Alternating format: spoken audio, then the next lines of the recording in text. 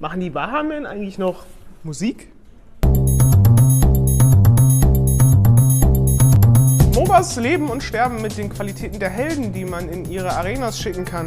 Infinite Crisis hat da einen entscheidenden Vorteil, denn das MOBA darf sich an dem schier bodenlosen Pool an DC Comic Helden bedienen. Nun sind die A-Lister um Superman und Bats schon von Anfang an dabei, also was tut man, wenn man seine Heldenriege erweitern will? Man greift auf die nächstbeste Option zurück.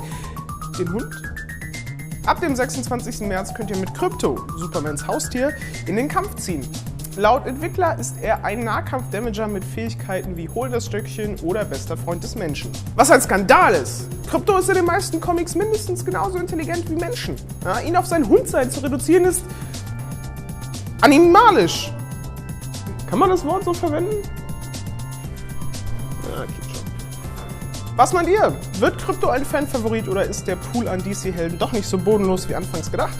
Antwortet uns mit einem Kommentar, liked das Video, teilt es mit euren Freunden, klickt den Abo-Button, wenn ihr euch schon da unten herumtreibt und benutzt, wenn überhaupt, Ohrstäbchen nur selten. Die sind schlecht fürs Gehör. Tschüss.